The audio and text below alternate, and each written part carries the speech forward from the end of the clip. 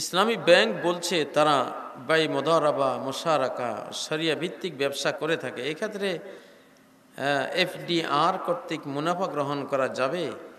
হ্যাঁ এফডিআরও তাদের ওই তিজারা ভিত্তিক একটা সিস্টেম আপনি নিতে পারেন। ওটা ওটা বৈধ। কারণ ওরা profit and loss sharing business মনে রাখবেন যে ইসলামী সকল ব্যাংকিংয়ের মধ্যে profit and loss sharing business করতে হয়। করা বাধ্যতামূলক। এখন কোনো অফিসার যদি কোনো হেরফের করে, সে দায়ী হবে। কিন্তু সিস্টেম হলো এটা। অনেকে বলেন যে যে কনভেনশনাল সুদি ব্যাংকগুলি ডাইরেক্ট সুদ খায় আর ইসলামী ব্যাংকওয়ালারা ঘুরাই খায়। এটা বলে। অনেকে বলে। ঠিক না? হ্যাঁ। ঠিক আছে, ঘুরাই খায়। কিছু জিনিস আছে, ঘুরাই খাইলে হালাল হয় ডাইরেক্ট খাইলে হারাম হয়। মুরগি একটা বাজার থেকে কিনে কল্লা ছেড়ে পর ফাঁকা বাছাই করে কাঁচা খাওয়া শুরু করে দিছে। এটা তো হারাম, কারণ ফুড পয়জনিং আক্রান্ত হবেন। লা দরারা ওলা দেরর, কোনো ক্ষতিকর জিনিস ইসলামে অনুমোদিত নাই।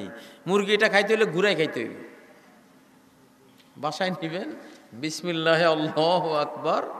জবাই করবেন, সাফ করবেন, পরিষ্কার করবেন, সব ঘুরানি হচ্ছে। তারপরে কাটবেন, কুটবেন, মশলাপাতি দেবেন, আগুনে ছড়াবেন, সিদ্ধ করবেন, তারপরে খাবেন। এতগুলি ঘুরাইবার পরে খান হালাল। ঘুরাইলে কি হয়? হালাল হয়। একটা মেয়েকে ডাইরেক্ট রাস্তায়, এই মেয়ে, তুমি আমার বউ, চলো। এটা কি? হারাম। ঘুরাইতে হইব এটা কি করতে হইব? ঘুরে আনতে হইব, মেয়ের বাপের কাছে যাইতে হইব। বাপ নাই আজকে, উনি একসাথে জন্য গেছে, আবার ঘুরে যাইবা। ওনার সাথে দেখা হইল হইল। আপনার মেয়েতে প্রস্তাব আছে। আচ্ছা তোমার বাপের সাথে কথা কমে, যাও। তো উনি আবার ছেলে বাড়িতে গেছে বাড়িটারি দেখছে। এই যে ঘুরাঘুরি হচ্ছে না? এরপরে দিন তারিখ হইল আরও দেখাশোনা হইল, বিয়ের আয়োজন হলো কাজী আনা হলো কাবিন লেখা হলো মোহর আনা হলো কাপড় চোপড় কিনা হলো, কত ঘুরানির পরে কাবেল তো কইয়া আজকে হালাল। প্রসেসিংয়ের দ্বারা কি হয়? হালাল হয়। এগুলো হালালের প্রসেসিং ডাইরেক্ট চলবে না। হ্যাঁ।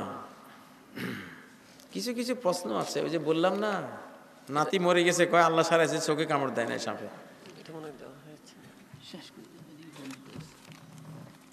আপনাদেরই পুরান ডাকা আল হাদিস ভাইদের আরেকটা প্রোগ্রাম আছে। তো এই জন্য ওখানে আবার যেতে হবে।